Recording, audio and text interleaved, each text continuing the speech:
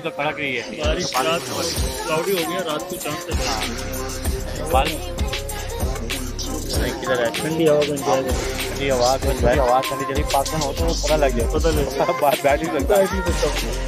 इसमें आप लोग हम दोनों को देख रहे होंगे। As usual topical as usual topically यही और हम फिर नहीं सकते हम बहुत सब थके हुए हैं। इसलिए थोड़ी से। तो बस